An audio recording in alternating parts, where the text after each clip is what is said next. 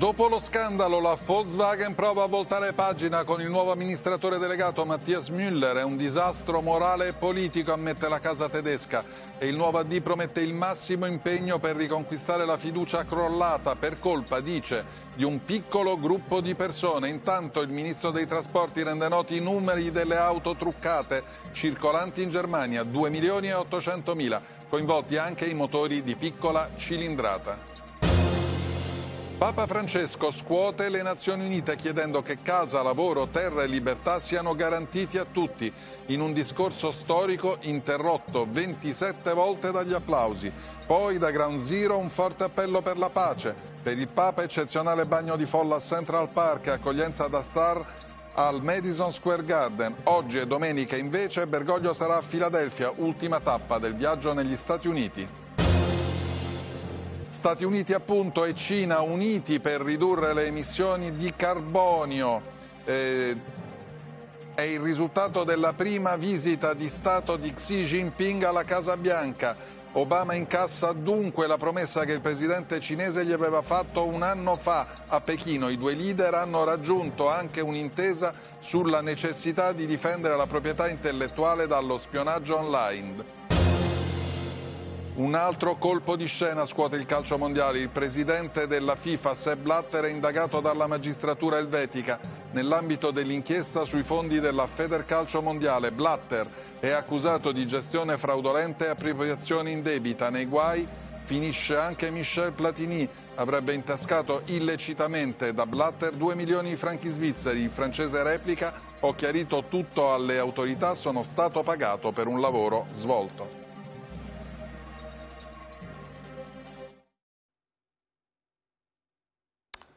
Buongiorno, 7.30 precise, buongiorno e benvenuti alla prima edizione del TG La 7. Allora partiamo ancora una volta con il caso Volkswagen. La Volkswagen che ha da ieri un nuovo amministratore delegato, Mattias Müller, arriva da Porsche, a lui il compito di cercare di frenare il disastro di immagine e anche economico che rischia di travolgere la casa tedesca. Eh, lui ha reagito dicendo che naturalmente farà fuori il gruppo di persone piccolo che avrebbe ordito questo complotto, chiamiamolo così, ai danni della casa tedesca, ma lo scandalo si allarga, sono molte più del previsto le auto coinvolte. Un disastro politico e morale, un danno enorme causato da un piccolo gruppo di manager, dichiara in conferenza stampa il Consiglio di supervisione della Volkswagen. Poi la nomina del nuovo amministratore viene ufficializzata. Mattias Müller, 62 anni, è il capo esecutivo del marchio Porsche dal 2010 e arriva in vetta alla Volkswagen nel piano del ciclone che ha investito il simbolo dell'industria tedesca. Prende il posto di Martin Winterkorn, l'ex numero uno che ha lasciato accollandosi tutte le responsabilità. Riconquistare la fiducia persa è la mia priorità, è il segnale che Müller lancia a tutti i mercati internazionali dove la casa di Wolfsburg non vuole certo perdere più di quanto ha già fatto. Sono truccate 2 milioni e 800 mila vetture circolanti solo in Germania, un milione circa in Francia, nel resto d'Europa, negli Stati Uniti e in Asia. Invece sull'impatto del Dieselgate che ha travolto la Volkswagen si stanno ancora facendo i conti. Quando il ministro dei trasporti Dombrint in Parlamento ha confermato i numeri tedeschi delle automobili con i software truccati per migliorare i dati sulle emissioni inquinanti in borsa a Francoforte, il titolo è scivolato scivolato chiudendo con un meno 4,3% delle azioni. La Svizzera ieri ha sospeso le vendite delle vetture sospette oltreoceano 27 stati americani si preparano a fare causa, ma la lista ufficiale dei vari modelli coinvolti non è ancora completa. Al momento di sicuro i veicoli interessati sono quelli che montano il motore EA189 da 1600 e 2000 di cilindrata, ma la commissione interna del Ministero tedesco sta valutando anche la versione da 1200 diesel e non solo dell'azienda di Wolfsburg, ma anche quelle degli altri marchi del gruppo Skoda e Seat che usano gli stessi propulsori. Allora, il Papa è a Filadelfia, nuova tappa e ultima del suo viaggio negli Stati Uniti. Ieri è stata una giornata eh, trionfale per eh, gli applausi che il Papa ha raccolto sia di fronte all'Assemblea delle Nazioni Unite sia nel suo giro in città che ha avuto molte tappe e tutte molto affollate. Vediamo. 80.000 persone per il più imponente bagno di folla della visita negli Stati Uniti di Papa Francesco e una delle istantanee simbolo di questo viaggio oltreoceano, il pontefice in jeep a Central Park che saluta le due immense ali di folla. Quella jeep lo sta portando al Madison Square Garden di New York dove gli oltre 20.000 presenti per la celebrazione della messa dopo aver fatto anche due chilometri di coda per entrare gli tributano una lunga standing ovation. La tappa precedente invece era stata a Harlem per una visita ad una scuola cattolica dove il 70% degli studenti è ispanico. Lì Bergoglio ha incontrato diversi immigrati ricevendo regali ed ascoltando il racconto delle loro storie. Ai bambini ha spiegato Martin Luther King, è bello avere dei sogni e poter lottare per essi, ha detto, aggiungendo, oggi vogliamo continuare a sognare e festeggiamo tutte le opportunità che ci permettono di non perdere la speranza in un mondo migliore con maggiori possibilità.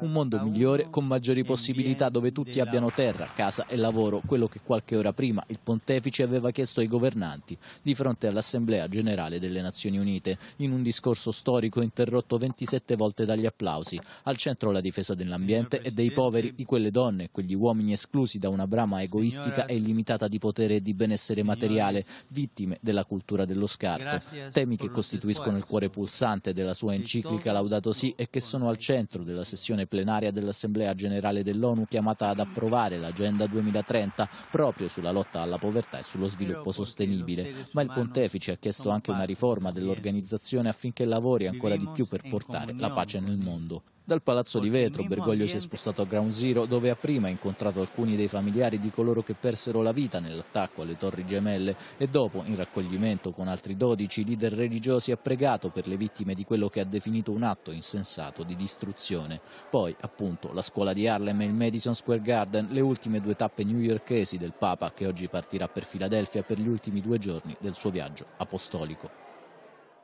E sta arrivando negli Stati Uniti anche il Presidente del Consiglio Renzi per partecipare all'Assemblea delle Nazioni Unite. Renzi che ha fatto il punto sulle, sugli ultimi fatti di politica interna, a partire dalle riforme che a questo punto sembrano addirittura d'arrivo, passando anche attraverso gli appuntamenti dell'economia. Le riforme vanno avanti, non ci saranno problemi e i tempi saranno rispettati. Intervistato dal TG5, il Presidente del Consiglio guarda avanti con la tradizionale fiducia, gonfiatasi quasi di colpo la nuvola di polemiche sulla riforma del Senato con la minoranza del PD riconciliatasi con la frase magica sui futuri senatori che saranno eletti in conformità con le scelte espresse dagli elettori, non senza incognite, però riguardanti la mancanza di uniformità nella legislazione regionale accettata con qualche mugugno la data del 13 ottobre per il voto finale, scelta infine dal Presidente del Senato Grasso, ciò che renderà difficile arrivare al referendum prima dell'entrata in vigore dell'Italicum, resta sì la montagna di emendamenti presentati da Calderoli, ma è una montagna destinata a smottare sotto i colpi di qualche concessione in più a regioni ed enti locali. Tanto più che il centrodestra tutto appare in questo momento meno che compatto nella strategia da portare avanti con Salvini che continua a sfoggiare disinteresse per il Senato, con Forza Italia che perde pezzi praticamente ogni giorno che passa e non fa nulla per nascondere che l'unica vera battaglia interessante è quella sull'Italicum, sul premio alla coalizione e non alla lista, così come per ora stabilito, cioè dal Senato, a riaprire dunque un fascicolo che Renzi però ha detto più volte di considerare chiuso con una Meloni che ieri alla festa di Fratelli d'Italia a Treiu ha detto no a un ticket Berlusconi-Salvini e con Maroni che da parte sua non ha escluso invece un ticket Salvini-Meloni. Mentre gli ex AN, Gasparri e La Russa predicano la ricetta di sempre, unità.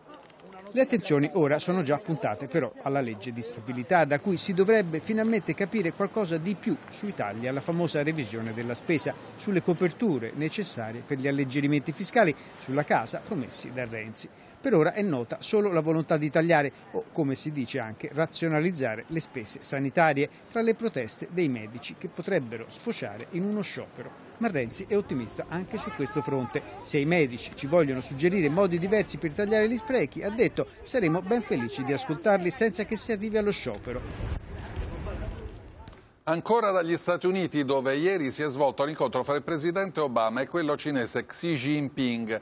Eh, è stato raggiunto un accordo, Pechino, ed è un evento storico, ha annunciato che intende diminuire le emissioni nocive da, a partire dal 2017. Se c'è intesa su questo, quindi sui temi ambientali, un po' meno ce n'è sulle questioni strategiche e su quelle militari.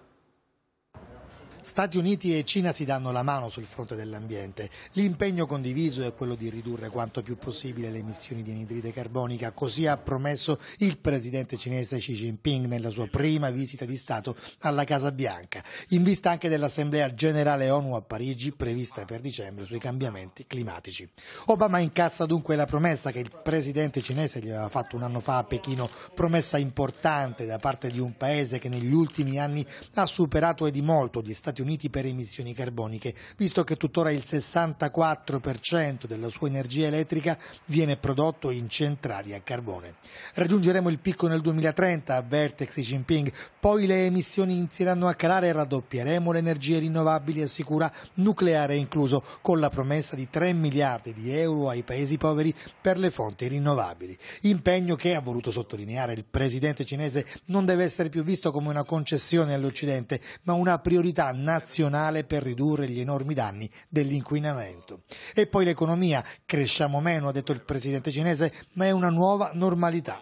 Obama e Xi Jinping hanno anche cercato di raggiungere un'intesa per evitare cyberguerre, dopo che l'amministrazione americana è stata più volte bersaglio di attacchi da parte di hacker riconducibili alla Cina e un accordo sulle isole contese nel Mar della Cina meridionale e orientale, tema quest'ultimo su cui le due superpotenze restano ancora su posizioni lontane.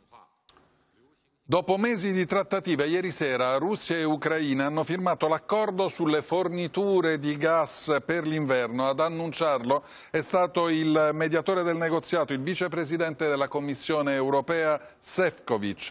Negoziato difficile, segnato dalla disputa sui prezzi e le condizioni che negli ultimi tempi hanno creato nuove tensioni tra Mosca e Kiev. Nel 2009 si giunse all'interruzione delle forniture con ripercussioni anche in Europa. Lo scorso anno poi solo un accordo all'ultimo momento ha evitato di far rimanere l'Ucraina al gelo. La firma di ieri sera è arrivata dopo sei mesi di colloqui portati avanti appunto con la mediazione dell'Unione Europea.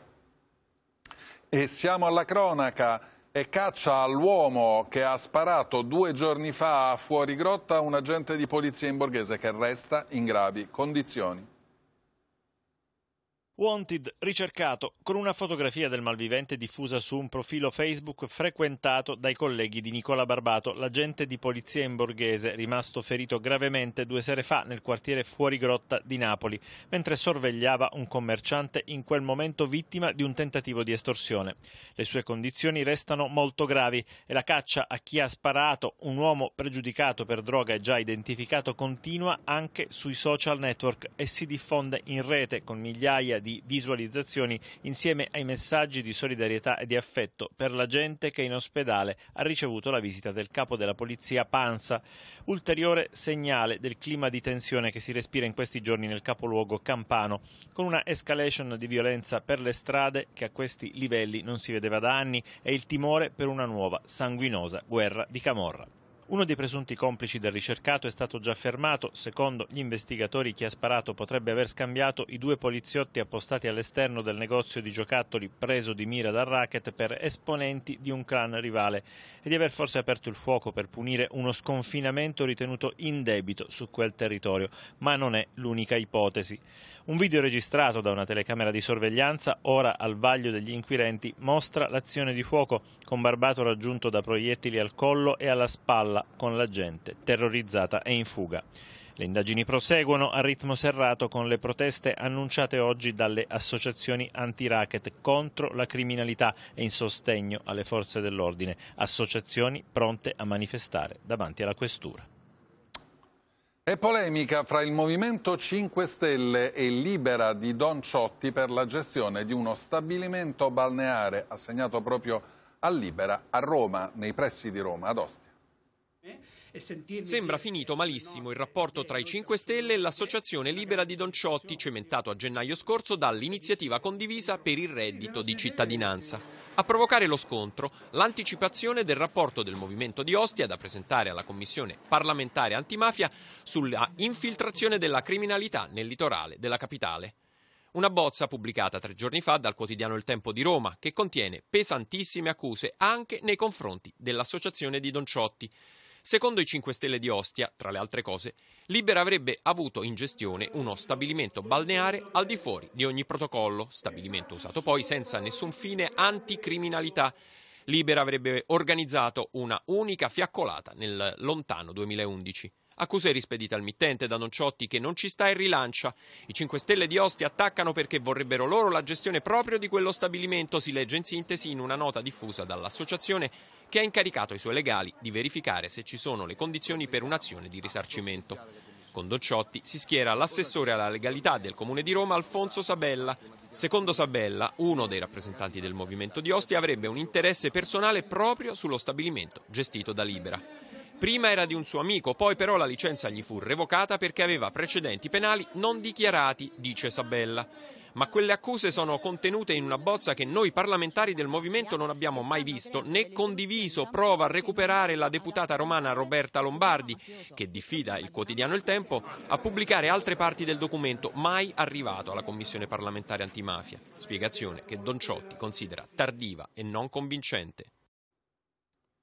A cavallo fra sport e cronaca la vicenda che coinvolge Michel Platini. Platini doveva essere sostanzialmente il successore di Blatter alla guida della FIFA, l'organizzazione del calcio mondiale e probabilmente l'indagine che lo coinvolge eh, lo escluderà da questa corsa. Avrebbe ricevuto 2 milioni di franchi svizzeri in nero proprio da Blatter. Quattro mesi di indagini trascorsi tra arresti celebri, accuse circostanziate e difese imbarazzanti e che sembravano solo gettare schizzi di fango sul dominus assoluto del calcio mondiale. Ma ieri la storia di questo maxi scandalo è arrivata a toccare il vertice della piramide. Così anche Joseph Blatter, che subito dopo la sua quinta rielezione a presidente della FIFA aveva rassegnato le proprie dimissioni, è ora formalmente indagato dalla Procura Generale di Berna per gestione fraudolenta e appropriazione indebita.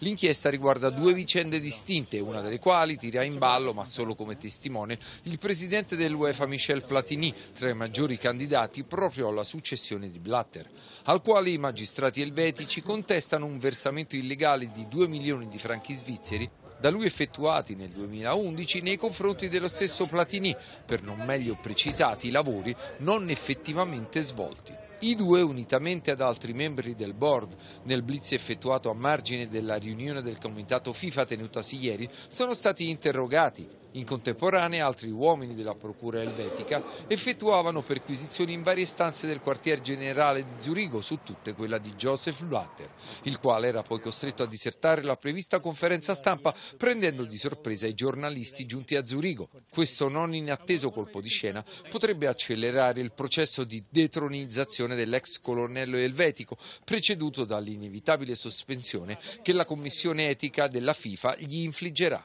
e per un Blatter silente un Michel Platini che in una nota diffusa ha dichiarato la sua piena collaborazione alle indagini, per poi precisare come il maxi versamento effettuato nei suoi confronti si riferisca esclusivamente al lavoro svolto sotto contratto per la FIFA.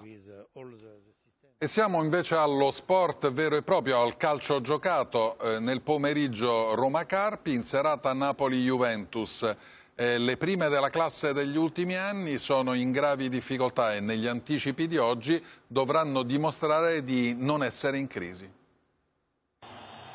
Sabato di passione o di resurrezione. Il quesito è anomalo trattandosi di Roma e Juventus, ma questo dice la stretta attualità. Le regine sono uscite da un mercoledì maledetto con il fiato grosso e tanti cattivi pensieri, con i condottieri Garzia e Allegri inchiodati da una classifica impensabile dopo cinque giornate. Parlare di crisi dei risultati è evidente, ma la radiografia del malessere racchiude ben altro. La Roma affronta il Carpi che a dispetto dei gol subiti ha dimostrato una buona organizzazione difensiva. E allora la squadra di Garzia dovrà sistemare i conti del suo attacco che non convince, nonostante la grande novità del centravanti. Il problema sembra ruotare proprio intorno a Geco, che con una sola rete segnata è al di sotto delle aspettative. È il bosniaco che non sfrutta le occasioni oppure è la Roma che ancora gioca secondo il vecchio copione che non prevedeva la punta centrale? È il dilemma nell'ambiente, sintomo di una situazione deficitaria, con il tecnico in discussione ma che non si sente in bilico nonostante sette punti di ritardo dall'Inter. Maicon e forse Totti tra i titolari. In caso della Juventus dobbiamo parlare di abisso, perché è straordinario vedere la miseria del raccolto bianconero dopo un frammento così breve del campionato. Una sconfitta a Napoli contro un avversario ugualmente assetato di certezze significherebbe un colpo da KO per i campioni d'Italia, anche se Allegri per forza cerca di guardare a lungo termine, cioè a Natale. Nell'immediato sta pensando di fronteggiare l'ennesima assenza, quella di Licksteiner, con un cambio di modulo, passando la difesa a 3. In quel caso Quadrado farebbe parte del centrocampo più nutrito con l'innesto di Hernanes. Davanti è importante il ritorno di Morata, che dovrebbe essere affiancato da Dybala. Allegri è sotto esame, lui però invita tutti ad un esame di coscienza. L'equilibrio deve essere la nostra forza, deve essere la nostra forza perché dopo alla fine si passa da, dalla squadra che è tornata dopo Manchester, dopo Genova, una squadra di coglioni dopo la partita col Frosinone, l'allenatore più scarso di tutti, allora, dopo di noi ci sono le previsioni meteo con Paolo Sottocorona. A seguire c'è il dibattito di Omnibus. Gli ospiti di Frediano Finucci oggi eh, parleranno di caso Volkswagen e sono Cristian Balmer, Giovanni Lavia, Tobias Piller, Monica Frassoni, Gianluca Pellegrini e Luca Ciferri. Alle 13.30 la prossima edizione del telegiornale. Grazie e arrivederci a domani.